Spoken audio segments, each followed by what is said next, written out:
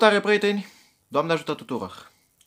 Mulțumesc mult Facebook pentru această onoare minunată pe care mi-ați făcut-o de a mă bloca timp de 30 de zile. O să vă povestesc, dragii mei prieteni, despre onoarea pe care mi-a făcut-o Facebook astăzi, uh, adică faptul că contul meu de Facebook, pe care îl utilizez adesea, care l-am de 5-6 ani de zile, Macovei Andrei Radu, a fost blocat timp de 30 de zile și mi-a spus acolo, domnule, uh, pentru o postare care ci că discriminează. Da, era o postare de acum 2 ani, am făcut un comentariu, într-adevăr, ceva mai dur potriva comuni- comunității LGBT și uh, mi s-a dus la cunoștință că, domnule, uh, întrucât postarea nu respectă standardele comunității Facebook, uh, mai și dădea o listă acolo, incită la ură, discriminare, xenofobie, rasism și așa mai departe, homofobie.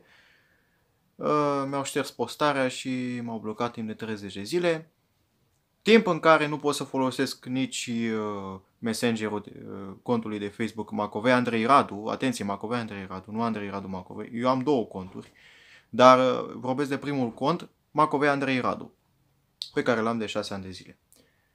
Mai am un cont de Facebook pe care l-am de un an și două luni, Andrei Radu Macovei, pe care îl utilizez acum și pe care am creat chiar acum recent uh, pagina de Facebook, uh, Tânărul Ortodox, chiar astăzi am creat-o, pentru că inclusiv pagina de Facebook la care, pe care strânsesem 10 like-uri uh, de ieri și până astăzi, de pe contul de Facebook Macovei Andrei Radu, a fost blocată și n-am putut să o utilizez și nu pot să o utilizez. Ei bine, pe aia cred, cred că nu o să o utilizez niciodată, pentru că dacă peste 30 de zile pagina asta de Facebook nou creat acum va avea 40-50 de like-uri, sau poate și mai mult, o să rămân pe asta. Și în continuare voi folosi uh, contul Andrei Radu Macovei pentru acea pagină și când, din când în când și pe contul Andrei Radu Macovei uh, o să mai postez o poză, o postare, ceva. Bineînțeles că voi, după ce voi fi deblocat o să folosesc din nou Macovei Andrei Radu. Contul meu pe care normal cum ar fi. Și da, trebuie să recunoaștem că în ziua de astăzi, dacă te opui sistemului, practic ești curățat cu totul. Uh, ți se pune lanț la gură, uh, ba chiar uh, dacă se poate să fii și încătușat pe viitor, nu știu, Doamne ferește. Bineînțeles că ți se pune și banda adezivă, adică încearcă să securizeze libera exprimare, cum ar fi, și să, să te închidă, pur și simplu să te elimine, să te scoată. Nu avem ce să facem, adică este și vina noastră mă rog, oameni, oamenilor de rând, că nu luăm inițiativă, uh, nu luăm atitudine ca să schimbăm uh, tot acest sistem globalist care, din păcate, a căpușat tot globul, dacă putem spune așa. Nu vreau să dau prea multe detalii, dar uh, sunt puțin supărat pentru că pe acel cont, practic, aveam 310 prieteni. De fiecare dată când postam o poză primeam câteva like-uri acolo, primeam mai multe like-uri. Și plus de asta acel cont uh, era conectat și la alte lucruri care erau importante pentru mine. Dar nu este nicio problemă, treci peste asta, nicio problemă, deci nu este mare chestie. Dacă și voi ați avut astfel de întâmplări, astfel de pățani, astfel de decorații din partea Facebook sau nu știu, a alte rețele de socializare, vă rog să scrieți comentarii. Uh, acum să vă spun puțin și istoricul acestui canal de YouTube acum, nu chiar aproape un an, mai bine spus prin uh, aprilie 2018, am primit un avertisment și pe YouTube pe, pentru acest canal uh, Tânărul Ortodox, pe atunci Actualitatea Ortodoxă, tot așa pentru un videoclip postat, cum a fi datuși din aprilie, în urmă cu șase luni să zicem, postat undeva prin octombrie 2017, că domnule încalcă standardele comunității YouTube și tot așa din cauza discriminării uh, celor de altă orientare sexuală, a trebuit să mi-l șteargă.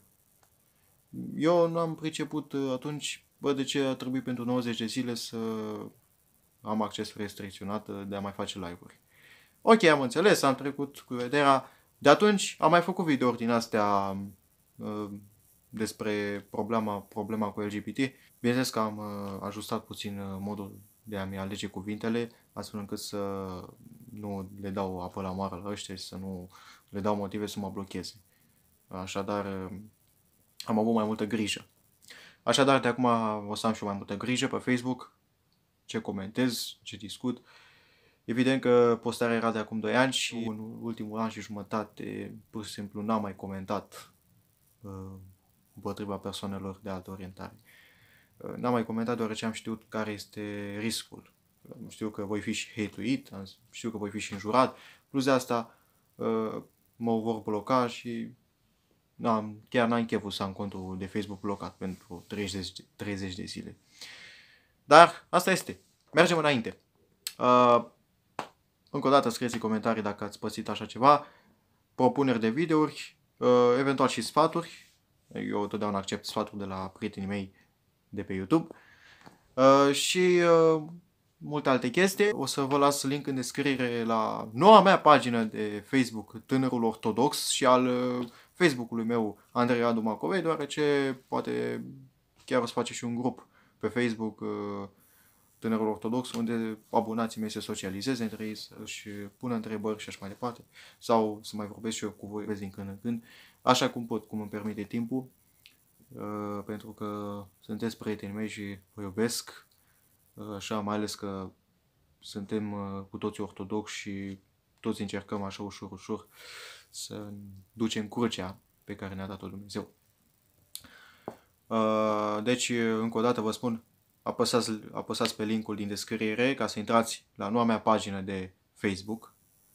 Deci noua mea pagină de Facebook, Tânărul Ortodox, pe care astăzi am creat-o. Deci, din păcate, sunt două pagini, dar uh, aș vrea să, când o să fiu deblocat, o să șterg parea, parea pe care am creat-o acum uh, două zile, uh, sau de, mai, mai exact ieri, și o să o las doar pe asta. Deci, dați acolo like și urmăriți-mă, la fel și pe contul meu de Facebook, trimiteți-mi cerere de prietenie și să mă urmări și urmăriți-mă și cam atât. Dacă v-a plăcut acest video, dați un like, un subscribe, un share. V-am lăsat. Pa, pa!